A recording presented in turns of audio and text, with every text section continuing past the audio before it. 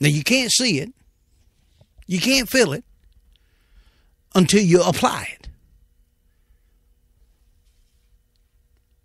I hope you grab that because it's for you.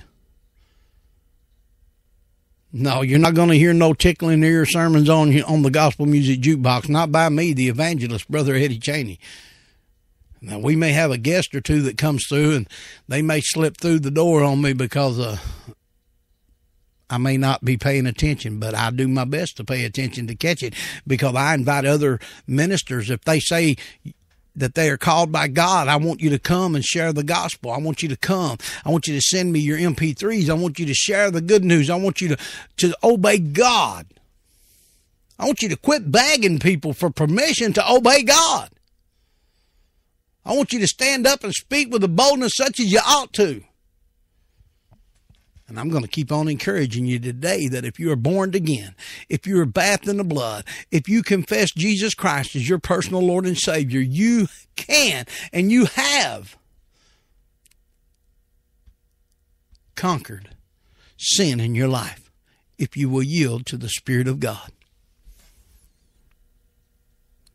All right, we're going to try to jump over here to the phone line. Hold on just a second. You're listening to the Gospel Music Jukebox.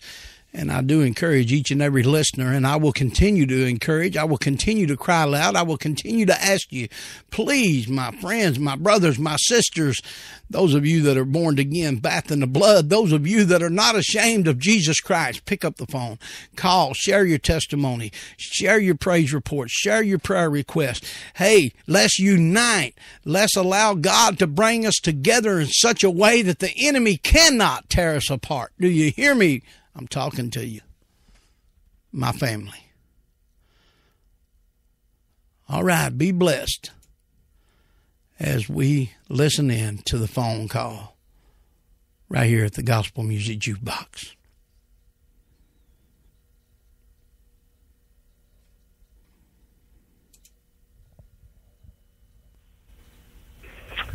Hello, everybody. This is Rachel.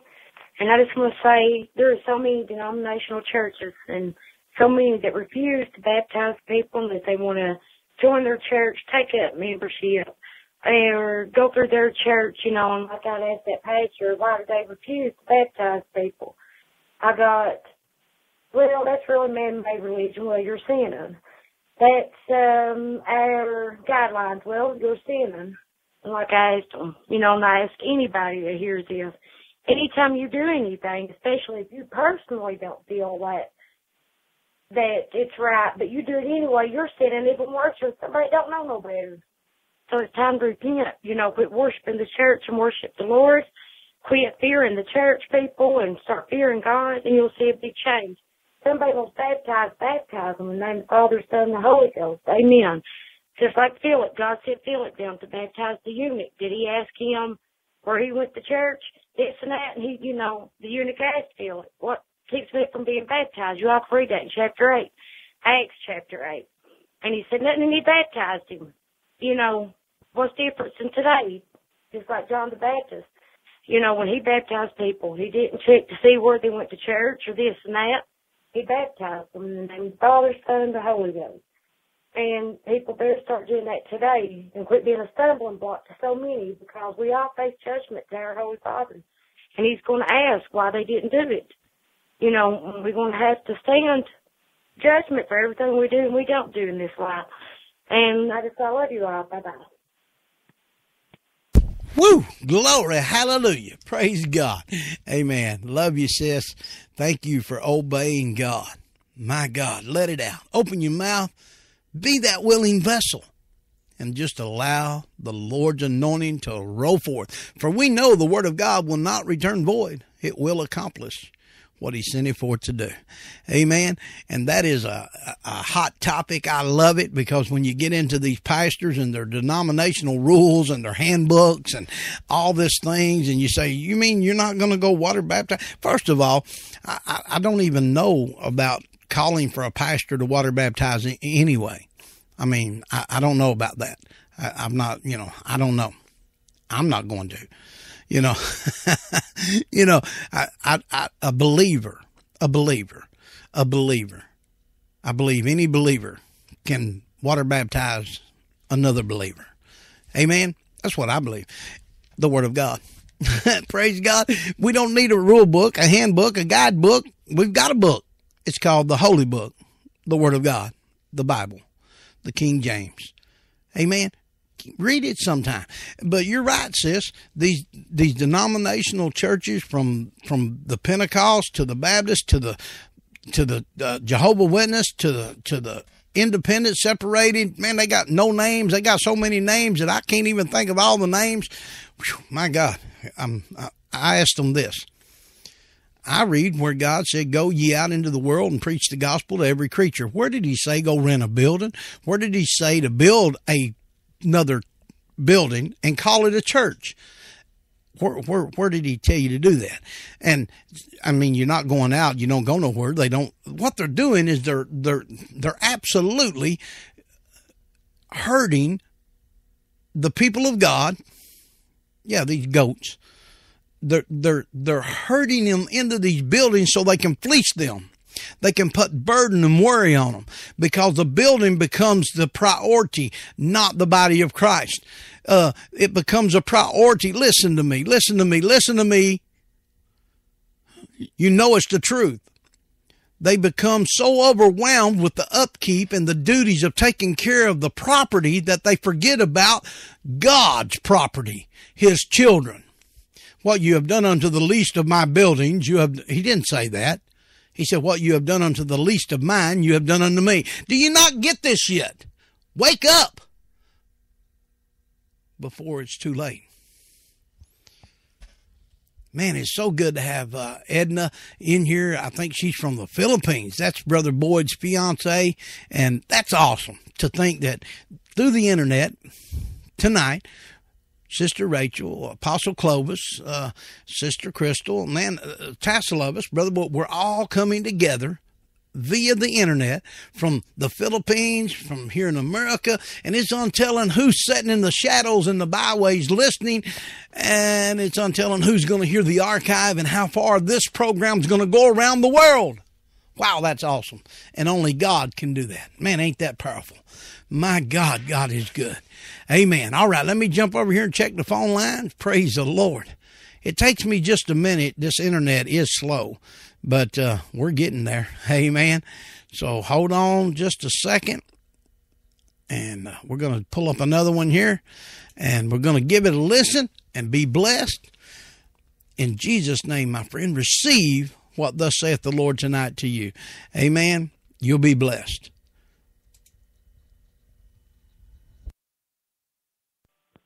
Hello, Brother Eddie. God bless you. This is Brother Boyd London in Idaho. I was just calling in. I just wanted to really thank uh, you and uh, everybody involved with the gospel music jukebox there, and all my brothers and sisters with that. Uh, just for being uh, great brothers and sisters who really love Jesus and who truly go out there and want to help other people, and you know to preach, who want to preach the word of God and get people saved. And so you know we're trying to help these orphan kids and stuff over on Facebook and different places, and pretty much all the groups and stuff have banned us out of there. They don't want any picture anybody asking for help for homeless people or orphan kids. And if we try to post posts about not sinning or something, they just block us right out of there because everybody wants to live in sin. And they say James five sixteen, you can confess it and you're good to go. Well, that's actually a prayer for people that are sick with sin. You're supposed to confess it and have people pray for them so you can get the sin out of your life and stop doing it. You're not supposed to keep doing it. They don't know that. But uh, anyhow, I know uh, I was just talking to Pastor Edwin in Kenya, and uh, and uh, I know a lot of the people involved with the gospel music jukebox. A lot of you have helped us out to be able to help those kids over there at different times, and uh, the kids all say thank you, and the pastor also, and and uh, your guys' group over there on Facebook, uh, that one we have going is one of the only, my own group is one of the only groups that we're left in over there because everybody else has just kicked us out of there. So, and, uh, I just really appreciate it because, uh, I know that, uh, you know, a lot of the people that listen to the gospel music jukebox and are involved, Apostle Clovis Robinson and Rachel Honeycutt and her family there and, and, uh, all the Robinsons and, and there's just a, a lot of you that listen and really love Jesus and who will really go out there and help people and actually do something for Jesus, which is just great. And I'm happy to know all of you. And just wanted to say God bless you, and I'll be praying for you. And every day, let's say no to sin. Let's not let the sin in our lives like the people in the world do and the fake Christians do. Let's go out there and help people in any way that we can every day. Uh, those around us, orphan kids if we can, homeless people, anybody we can help. I'm helping people in prison also. It's good to help them and let's preach the word of God to everyone we can and tell them about Jesus. Jesus will heal them. Jesus will get the sin out of their life. Jesus will set them free. They can turn their lives to Jesus and they can live a new, changed, sin-free life and they can go out there and help people and be in the kingdom of God, live their lives for Jesus and make it to heaven. So let's help people get to heaven and follow Jesus Christ. Love you all and God bless you. Amen. Amen. Thank you, brother Boyd. My God. I love you, man. And hey, Sister Rachel, you're my other twin. See, we're twins. See, I love that picture. I really do. That's my angel Gracie there with me. Uh, you guys will never know how precious that moment was to me in my life. Uh, God definitely uh, has placed a purpose, Whew, man, uh, with with not only this Gracie, but we have Gracie in Mississippi. We have we have man so many children that God has put in our life that uh, you know, this is how important it is that we proclaim the truth. Those children need to know. They need to know that we're not ashamed to stand up and proclaim his holy and righteous name. You see, look here, they're watching you. They're watching everyone. Those little eyes and those little ears are listening. Man, how powerful is it that we must continue to endure to the end, we must continue to be in obedience with the word of the Lord. We must continue to walk upright.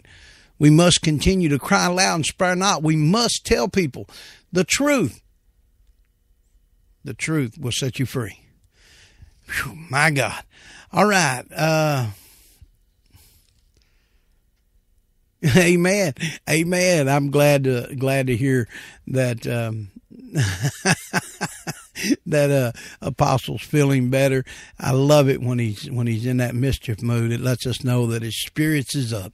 Man, we love you, Apostle Clovis Robinson. You will never know how much, not till you leave this world, because uh, God put you in my life.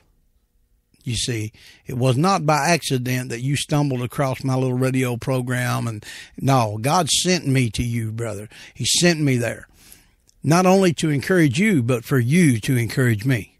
And brother, we are twined together. We are hooked in the jaw. Brother Boyd, we're hooked. I love you, man. Sister Rachel, we're hooked. Sister Annette, Apostle Michael. My God, you guys listen to me.